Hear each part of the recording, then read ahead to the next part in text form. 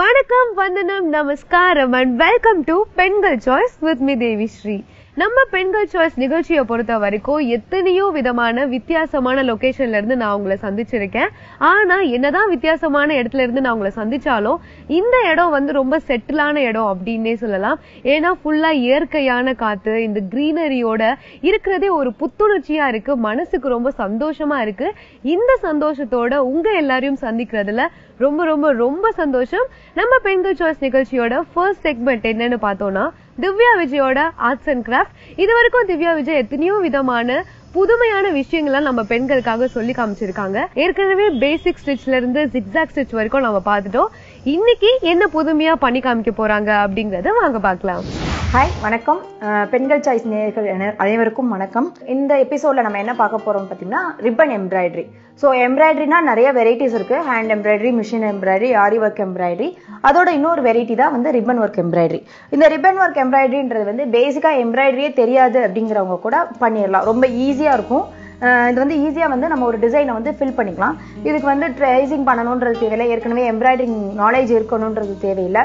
எதுவுமே இல்லாட்டாலும் ஒரு பிகினர்ஸால் ஒரு எக்ஸ்க்ளூசிவான ஒரு டிசைன்ஸ் வந்து எப்படி பண்ணலாம் அப்படிங்கிறத பார்க்கலாம். ரிப்பன் எம்ப்ராய்டரின்னு சொல்லையில் இதில் வந்து நிறைய அட்வான்டேஜஸ் இருக்குது லைக் வந்து ஒரு பெரிய குஷன்ஸ் வீட்டில் வந்து நம்ம ஷோஃபாவில் வைக்கிற குஷன்ஸாக இருக்கட்டும் இல்லைன்னா கர்டைன்ஸாக இருக்கட்டும் இல்லைன்னா சாரீஸு சல்வாஸ் இல்லை பிள்ளைங்களுடைய ஃப்ராக்ஸ் அந்த மாதிரி எல்லா கைண்ட் ஆஃப் ட்ரெஸ் மெட்டீரியல்ஸ்லையும் இந்த எம்ப்ராய்டரியை பண்ணிக்கலாம். ரிப்பன் வந்து அவைல் நிறைய கலர்ஸ் வந்து அவைலபிளாக இருக்குது ஸோ வந்து கலர்ஸ் வந்து உங்களுக்கு ஒன்றும் ப்ராப்ளம் இல்லை. ஒரு டிசைனை வந்து ஃபில் பண்ணணும் அப்படின்னா ஆரி எம்ப்ராய்டரி வந்து ரொம்ப ஈஸி பட் அது எடுத்துக்கிற டயத்தை விட ரொம்ப ஷார்ட் பீரியட்ல வந்து நம்ம ஒரு டிசைன்ஸை வந்து நம்ம ஃபில் பண்ணிக்கலாம்.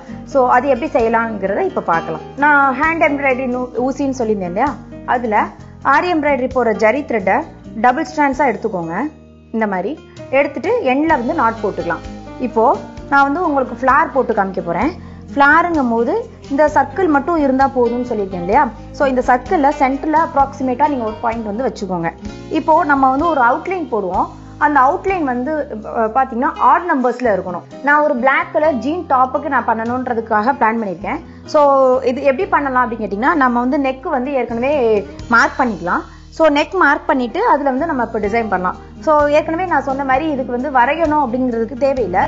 நான் ஒரு ஃப்ளாரும் ஒரு லீஃபும் போட்டிருக்கேன். இப்போ அதை எப்படி போடுறதுன்னு தான் உங்களுக்கு காமிக்க போகிறேன் இந்த ஃப்ளார் போடுறது ஜஸ்ட் ஒரு சர்க்கிள் இருந்தால் போதும். இந்த சர்க்கிளை வச்சு நம்ம ஃப்ளார் பண்ணிக்கலாம். ஸோ லீஃபுங்கும் போது அது ஆப்ஷனல் ஃப்ளாஸ்க் பக்கத்தில் லீஃப் போட்டுக்கலாம். மற்றபடி பிரான்ச்சஸ் இதை மட்டும் நீங்கள் பேசிக்காக நீங்கள் வரைஞ்சி வச்சுட்டீங்க அப்படின்னா நம்ம நல்லா டிசைன் பண்ணிக்கலாம். சரி ஓகே இப்போ வந்து நம்ம நீடில் ரிப்பன் எம்ப்ராய்டரிக்கு என்ன மாதிரி நீடில் யூஸ் பண்ணலாம்னு கேட்டிங்கன்னா இந்த மாதிரி நீடில்ஸ் யூஸ் பண்ணலாம். இது வந்து எயிட்டீன் சைஸில் இது எப்படி இருக்கும்னு பார்த்தீங்கன்னா இதனுடைய ஏர் பார்ட் அதாவது நம்ம வந்து த்ரெட்டு இன்சர்ட் பண்ணுற பார்ட் வந்து கொஞ்சம் பெருசாக இருக்கும். இந்த ஹெட் பார்ட் வந்து ஷார்ப்பாக இருக்காது. லைக் வந்து எப்படி சொல்கிறது ஷார்ப் இல்லாமல் ஷார்ப்லெஸ்ஸாக இருக்கும். ஸோ இந்த மாதிரியான நீடில் வந்து இந்த ரிப்பன் எம்ப்ராய்டரிக்கு நம்ம யூஸ் பண்ணுறோம் மற்றபடி வந்து நார்மலான ஹேண்ட் எம்ப்ராய்டரி நீடில் ஸோ இதை தான் நம்ம யூஸ் பண்ண போகிறோம் அடுத்து வந்து ரிப்பன் ரிப்பன்னா உங்களுக்கு வந்து நிறைய மார்க்கெட்டில் அவைலபிளாக இருக்குது இது வந்து சாட்டின் ரிப்பன் சொல்லுவாங்க. இதுலேயும் பார்த்தீங்கன்னா நிறைய திக்னஸ் இருக்குது இது கொஞ்சம் பெரிய சைஸு இது வந்து கொஞ்சம் தின்னர் சைஸு ஸோ எல்லா சைஸ்லேயுமே நம்ம போடலாம். கலர்ஸ்னு பார்த்தீங்கன்னா நிறைய மார்க்கெட்டில் அவைலபிளாக இருக்குது அதுக்கப்புறம் ஜரி த்ரெட்டு ஜரி த்ரெட் உங்களுக்கு எல்லாருக்குமே தெரிஞ்சிருக்கும். இது ஆரி எம்ப்ராய்டரி பண்ணுறதுக்காக யூஸ் பண்ணுற ஜரி த்ரெட்டு ஸோ இந்த மெட்டீரியல்ஸை வச்சு நம்ம எம்ப்ராய்டரி போட போகிறோம் இதோட நம்ம வந்து இதான் வந்து நம்ம போட போகிற ஃப்ளாரோட பேஸு இதை போட்டுட்டு பின்னாடி வந்து நம்ம நாட் போட்டுக்கலாம். பாருங்க நாட் வந்து நார்மலாக நம்ம எம்ப்ராய்டரிக்கு போடுற மாதிரி தான் இந்த மாதிரி நாட் போட்டுக்கலாம். நம்ம கட் பண்ணிக்கலாம். இப்போ ஃப்ளாரோட பேஸ் ரெடி ஆயிடுச்சு. இப்போ வந்து நம்ம மேலே ரிப்பன் ரிப்பனில் ஃப்ளார் போட போகிறோம் இப்போ உங்களுக்கு தெரியும் இதனோட ஸ்பெஷாலிட்டி இந்த ஹோல் பார்ட் வந்து பெருசாக இருக்கணும்னு எதுக்கு சொன்னேன்னு சொல்லிட்டு இந்த ஹோல் பார்ட்டில் நம்ம இன்சர்ட் பண்ணிக்குவோம் இப்போது ரிப்பனை வந்து நார்மலாக நான் எட்ஜில் வந்து நாட் போட்டிருக்கேன். இதை இப்போ நான் ஸ்டார்ட் பண்ணலாம். பாருங்கள் ஸ்டார்ட் பண்ணுறது ரொம்ப ஈஸி கீழேருந்து த்ரெட்டை எடுக்கையில உங்களுக்கு கொஞ்சம் கஷ்டமாக இருக்கும். பட் லைட்டாக இப்படி மூவ் பண்ணிவிட்டு நீங்கள் வந்து எடுத்துக்கோங்க. அதனால உங்களுக்கு கிளாத் ஒன்றும் டேமேஜ் ஆகிடாது ரிப்பன் எடுக்கும் போது மட்டும் உங்களுக்கு கஷ்டமாக இருக்கும். இப்போ இது என்ன மெத்தடில் நம்ம போட போகிறோம்னு கேட்டிங்கன்னா இப்படி கீழே இருந்து எடுக்கும் போது ஃபர்ஸ்ட் டைம் வந்து ஊசியை வந்து அடுத்த செயினோட மேலே வச்சுக்கோங்க. ஒரு இதில் மேலே ஒரு இதில் கீழே. வீவிங் ஸ்டிச்சுன்னு சொல்லுவாங்க. பாய் பின்னல் அப்படின்னு சொல்லிட்டு அந்த மெத்தடில் நம்ம போட போகிறோம் பட் இதில் நீங்கள் முக்கியமாக கவனிக்க வேண்டியது என்னன்னு கேட்டிங்கன்னா இப்படி நம்ம உள்ளே விட்டு இன்சர்ட் பண்ணி நம்ம திரும்ப எடுக்கும் போது பேக் சைடு வந்து ரோல் ஆயிரும். பாருங்க. ஆக்சுவலாக இது வந்து பேக் சைடு இது வந்து ஃப்ரண்ட் சைடு அது கவனிக்காம நம்ம திருப்பி திருப்பி போட்டுட்டே இருந்தோம்னா பேக் சைடில் உங்களுக்கு வந்து ஃப்ளார் இருக்கிற மாதிரி இருக்கும். ஸோ அந்த டயத்தில் அதை மட்டும் கொஞ்சம் ஞாபகமாக அப்பப்போ நீங்கள் வந்து இந்த மாதிரி ட்விஸ்ட் பண்ணிக்கோங்க. இதில் கீழே போட்டிருக்கேன் இல்லையா? அடுத்ததுல ஊசி வந்து மேலே இருக்கணும். மேலே கீழே. போடையில் இந்த மாதிரி த்ரெட்டை வந்து விரலால் நீங்கள் பிடிச்சிட்டிங்க அப்படின்னு சொன்னால் உங்களுக்கு வந்து இந்த மாதிரி ட்விஸ்ட் ஆகாது. பாருங்க. இந்த மாதிரி. இப்போ இதில் கீழே வச்சுருக்கோம். ஸோ இதில் மேலே இதில் கீழே. ஸோ பார்த்தீங்கன்னா உங்களுக்கு ஒரு ரோஸ் பெட்டல்ஸ் மாதிரி இருக்கும். இந்த இடத்துல நம்ம வந்து கம்ப்ளீட் பண்ணிக்கலாம். ஸோ இந்த இடத்துல குத்தி நான் பின்னாடி எடுக்க போகிறேன் இப்போ பாருங்கள் இந்த துணியில் விட்டு இழுக்கும் போது கஷ்டமாக இருக்கும். இங்கே பாருங்கள் இப்படி இருக்கையில் ரொம்ப ஃபோர்ஸாக நீங்கள் இழுக்கிறாதீங்க. இதை இந்த முன்னாடி இருக்கிற பெட்டல்ஸ் வர்ற மாதிரி. ஸோ இந்த மாதிரி பார்த்துட்டு இந்த ஸ்டேஜில் முடிச்சுக்கலாம். இதை முடிக்கிறது வந்து நார்மலாக நம்ம நாட் போடுற மாதிரி தான் ஆனால் கேர்ஃபுல்லாக நாட் போடல ரொம்ப டைட்டாக இழுத்துறாதீங்க. மேலே வந்து அந்த லேயர்ஸ் வந்து உங்களுக்கு தெரியாமல் போயிடும் இந்த மாதிரி. இந்த மாதிரி முடிச்சுட்டு ஃபைனலில் வந்து லைட்டர் இருந்ததுன்னா லைட்ரை வச்சு நீங்கள் காமிச்சிட்டிங்கன்னா இந்த இது வந்து உங்களுக்கு நாட் வந்து பிரிஞ்சிட்டு வராது. ஸோ அந்த மாதிரி நம்ம வந்து கம்ப்ளீட் பண்ணி இப்போ பாருங்கள் ரோஸ் பெட்டல்ஸ் மாதிரியே வந்திருக்கு. ரொம்ப அழகாக இருக்கும் கிளியராகவும் இருக்கும். இப்போ இதே மெத்தட் தான் நம்ம வந்து லீஃப் போட போகிறோம் பாருங்க. எடுத்துட்டேன்.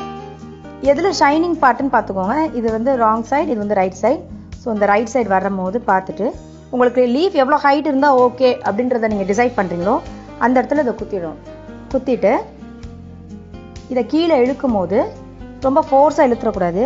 இந்த மாதிரி முடிக்கும் போது பாருங்க. ரைட் சைடு வர்ற மாதிரி.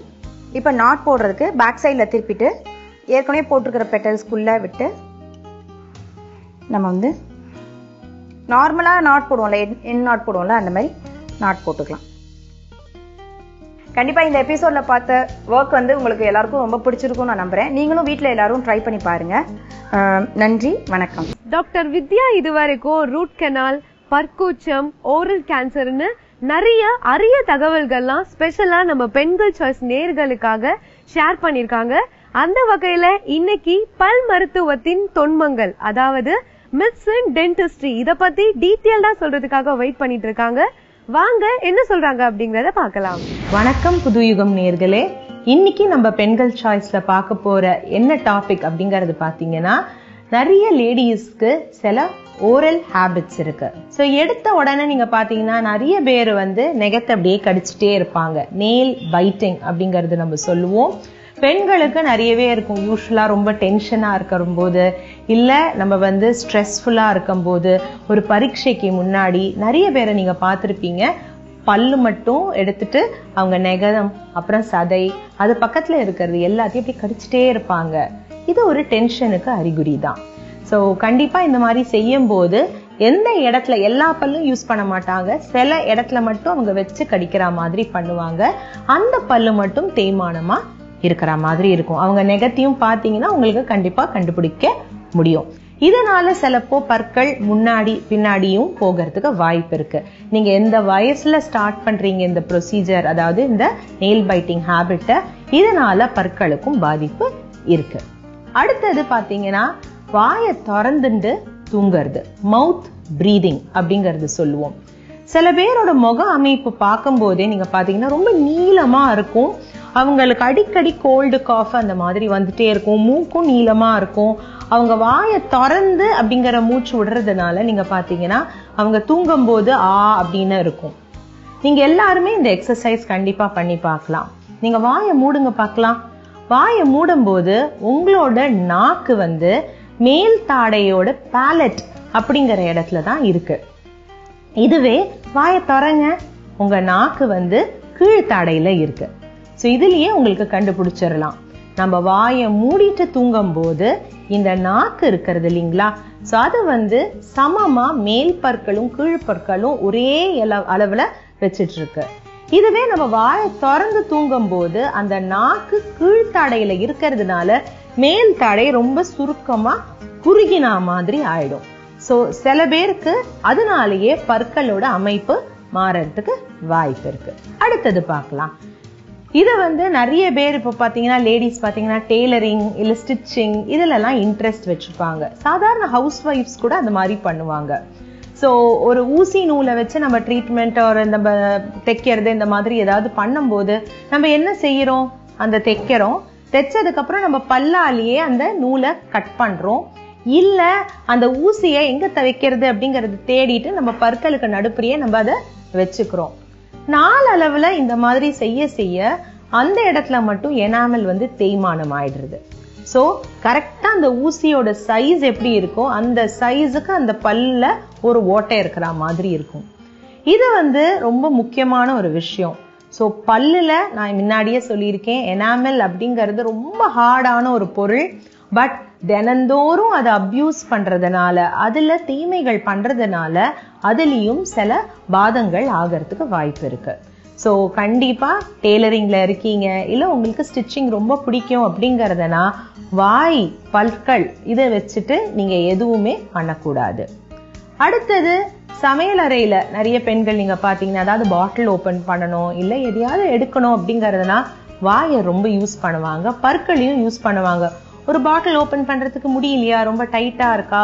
வாயில வச்சுட்டு அப்படியே அந்த பாட்டில திறக்க ட்ரை பண்ணுவாங்க. கண்டிப்பா இதை செய்யவே கூடாது. நிறைய பற்கள் என்ன ஆகும் அப்படிங்கிறதுனா கிரேஸ் லைன்ஸ் அப்படிங்கிறது ஆகும். நீங்க ஒரு கண்ணாடியை பார்த்துருந்தீங்கன்னா இதை உங்களுக்கு புரியும். ஸோ கார் இருக்கு. கார்ல முன்னாடி கண்ணாடி இருக்கு. ஏதாவது ஒரு கல் ரொம்ப ஃபோர்ஸால வந்து அந்த கண்ணாடியை உடைக்க பார்க்கும்போது நீங்க பாப்பீங்க அந்த கண்ணாடி உடையாது ஆனா நிறைய விரிசல்கள் இருக்கும் அதுல. அதுக்கு பேரு கிரேஸ் லைன்ஸ் இதே மாதிரி தான் நம்ம பல்லுலயும் அந்த கிரேஸ் லைன்ஸ் இருக்கும். இந்த கிரேஸ் லைன்ஸ் இருந்தா ஒரு பேஷண்ட்டுக்கு எப்படி ஃபீல் பண்ணுவாங்கன்னா கூச்சமா இருக்கும்.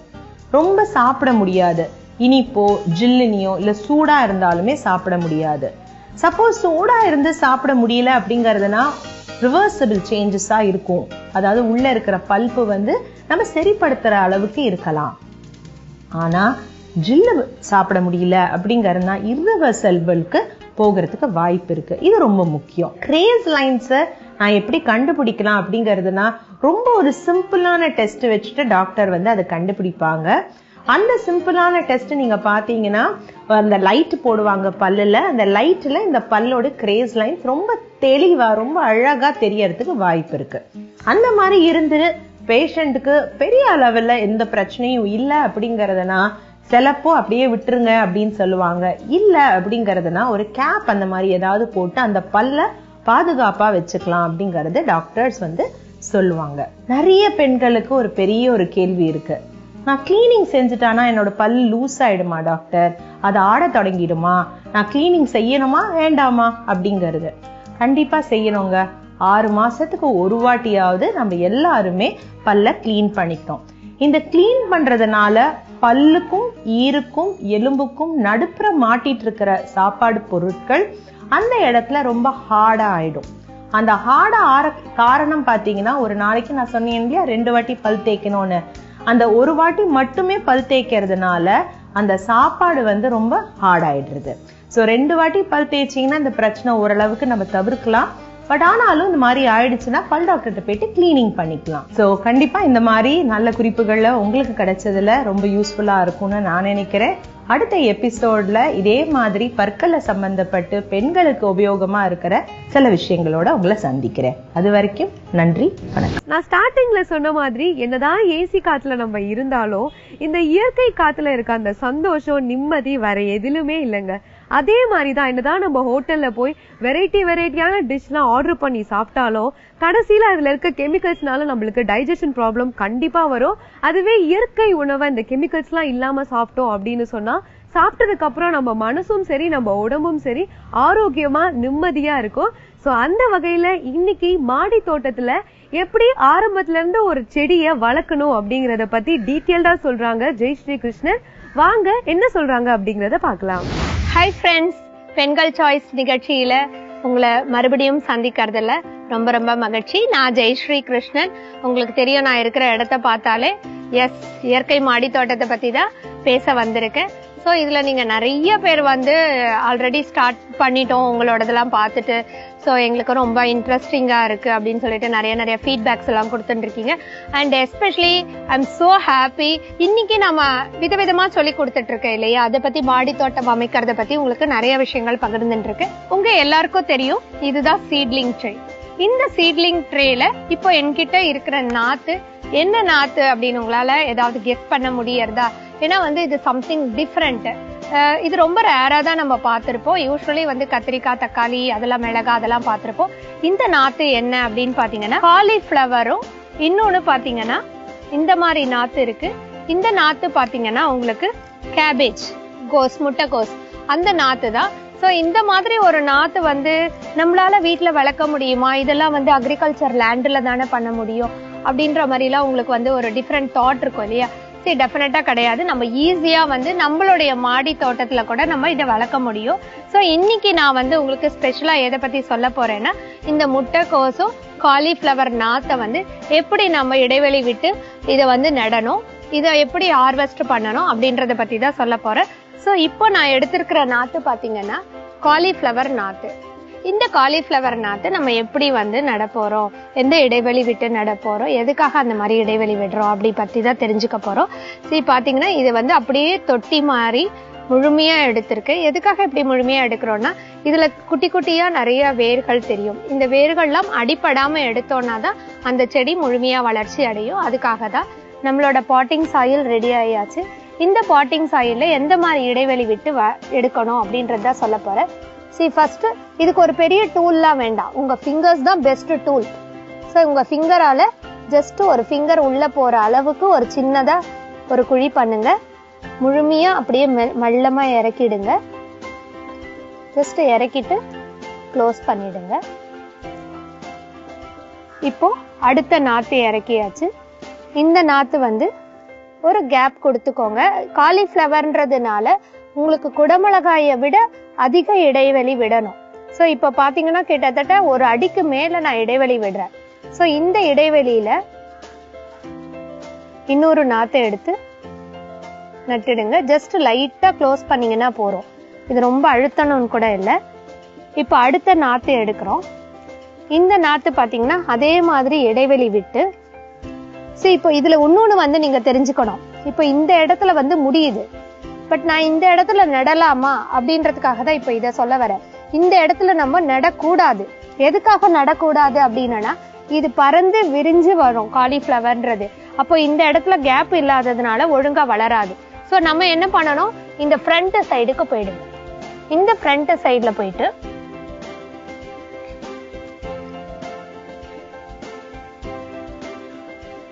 இப்போ அது நட்டாச்சு. இப்போ இந்த இடத்த பாருங்க. இதுக்கு நேர. இப்போ அழகா சதுரமா உங்களுக்கு தெரியும். எல்லாமே ஒரு அடி கேப்ல இருக்கு. நாலு காலிஃப்ளவர் செடி நம்ம நட்டாச்சு. முட்டைகோஸ் நீங்க வைக்கிறதா இருந்தாலும் இதே மெத்தட்ல தான் நீங்க வைக்கணும். ஒரு பேகுக்கு ஒரு நாத்து. அந்த மாதிரி தான் ரெக்டாங்குலர் பேக் அகலமான பேகுன்னா நீங்க மேக்சிமம் வந்து ஒரு ரெண்டு நாத்து தான் வைக்கணும். அதுக்கு மேல வைக்க கூடாது ஏன்னா க்ரோத் வந்து சரியா வராது. ஆஹ் இன்னைக்கு நீங்க இந்த எபிசோட்ல வந்து முட்டைக்கோஸ் நாத்தும் அண்ட் காலிஃப்ளவர் நாத்தும் நம்ம வந்து எப்படி வந்து நட நடணும் எதுக்காக அந்த இடைவெளி விடணும் அப்படின்றதெல்லாம் எந்த பேக் சைஸ் உங்களுக்கு சரியா வரும் அப்படின்றதெல்லாம் பத்தி தெரிஞ்சுட்டு இருக்கீங்க ரொம்ப யூஸ்ஃபுல்லா இருந்திருக்கும்னு நினைக்கிறேன் நான். ஸோ உங்க எல்லாரோட ஆதரவுக்கும் எங்களுக்கு நன்றி.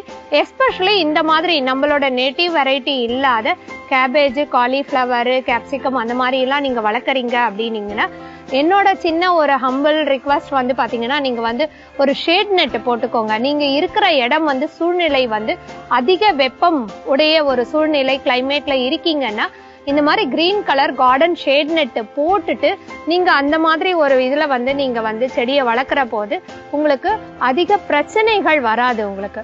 ஈஸியா வந்து சன்லைட்ல இருந்து ப்ரொடெக்ட் ஆயிடும். ஹெவி சன் ரெயின் வந்தாலும் உங்க செடி வந்து ப்ரொடெக்ட் ஆயிடும். ஸோ க்ரோத் வந்து நல்லா இருக்கும். எஸ்பெஷலி வந்து பெஸ்ட் ப்ராப்ளம்ல இருந்து கொஞ்சம் கண்ட்ரோல் கிடைக்கும்.